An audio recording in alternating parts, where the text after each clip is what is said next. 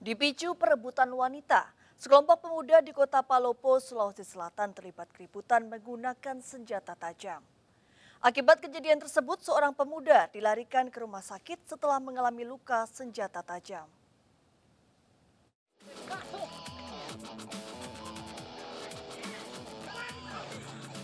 Dua kelompok pemuda terlibat aksi kejar-kejaran di alun-alun lapangan Pancasila, kota Palopo.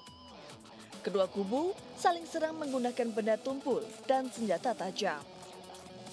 Unit Reskrim Polsek Wara yang menerima laporan tiba di lokasi dan segera membubarkan aksi tawuran.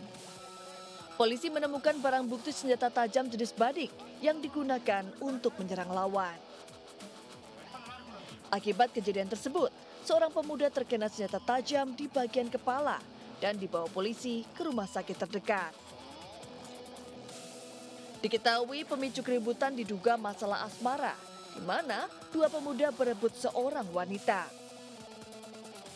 Setelah kami tiba di TKP, kami berusaha dan berusaha membubarkan uh, kedua kelompok yang sedang bertikai dan alhamdulillah kami sempat uh, membubarkan. Kemudian salah satu korban kami evakuasi segera ke rumah sakit untuk sebagai bentuk uh, pelayanan masyarakat. Untuk menghindari aksi balas dendam, sejumlah polisi disiagakan di lokasi kejadian.